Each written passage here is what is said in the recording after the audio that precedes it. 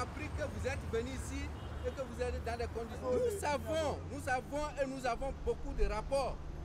Ils demandent asile auprès du Haut Commissariat des Nations Unies pour les réfugiés, pour s'installer ici au Nigeria, pour continuer la vie en tant qu'être humain. Aujourd'hui, non, ce n'est pas possible pour eux de rentrer au Togo parce que certains d'entre eux qui étaient rentrés, ils n'arrivent plus à communiquer avec eux. Certains ont disparu. Donc, ils ont peur de rentrer au Togo. C'est avec les, coups de main de la population nigérienne qui sont de passage.